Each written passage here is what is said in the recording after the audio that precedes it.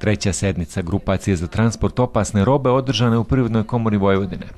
U radu ove grupacije učestvuju predstavnici Privredne komore, Ministarstva građevinarstva i saobraćaja i klastera transporta opasne robe.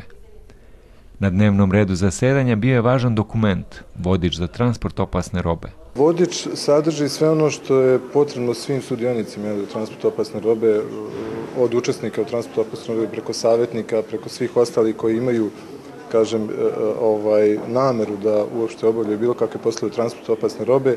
Ono što je najbitnije, vodič će sadržati najbitnije informacije koje će biti od pomoći jeli, kome da se obrate, na koje adrese, gde se pišu zahtevi za određene dozvole. U Privrednoj komori Vojvodine navode da su ovu grupaciju formirali u oktobru 2017. i da su prepoznali ovu oblast kao veoma važnu. Ova oblast je veoma važna iz, iz razloga što je to vrlo, prvo pre svega kompleksna oblast i veoma opasna oblast, s obzirom da su tu bezbednostni rizici prisutni u obavljanju transporta opasne robe i mi kao Privredna komora Vojvodine smo se opredelili da u okviru udruženja usluga formiramo ovakvu jednu grupaciju.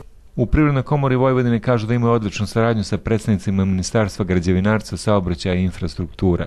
Ova saradnja i rad grupacije će nadaju se voditi do zakonskih rešenja koja će detaljnije urediti ovu oblast.